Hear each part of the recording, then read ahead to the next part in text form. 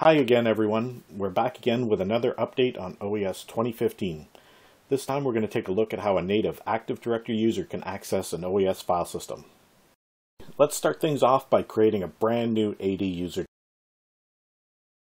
Here we are on our AD server, so we're just going to launch our Active Directory administration tool and create our brand new user. Our user's name is Clark Kent, so we're just going to type these credentials in here for him. And then we finish off by setting his password so that he can actually log into AD. The next thing that we need to do is set up this user's home directory and assign the rights so that he can actually access it. As you know, in Windows or in the Microsoft world, you have to use Windows Explorer to do these kinds of things. So here we open up Windows Explorer. We have a drive that is mapped to our OES server, and we're going to create our user um, Clark's home directory under the user's container. We're then going to go through and set up all of the rights that he needs to have access to the file system. To manage the rights the way we are here, our user administrator has been granted rights to the OES file system, and on our workstation we have the Novell File Access Rights Management plugin installed inside of Windows Explorer to give us access to the NSS rights here. So now that our user exists inside of Active Directory, let's actually try to log in and see what will happen.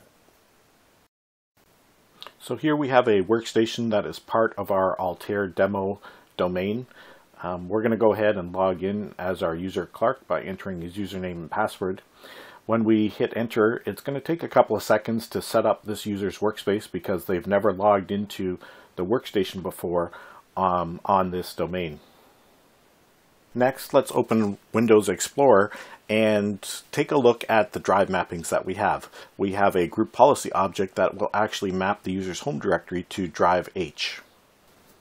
It seems we do indeed have a drive letter H mapped to our home directory, so let's go ahead and create a file. We'll just call this Clark's home directory uh, for now. So far we've created a brand new user inside of Active Directory uh, and then we've used that user ID to go to a workstation joined to the domain to log in. We've mapped a drive to what we think is our home directory and created a new file. So let's lastly switch over to the OES server to see what that looks like there. Here we are on our OES server. We're going to go ahead and log in as our root user who has full rights to the file system. As you can see, we have two volumes, Data 32, which is traditional 32-bit NSS, and Data 64, which is our new 64-bit NSS.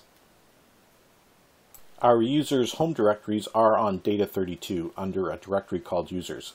So if we expand that and take a look at what we see there, we do see a directory called Clark. Inside of that directory is indeed a file called Clark's home directory that we just created from the Windows PC connected to the domain.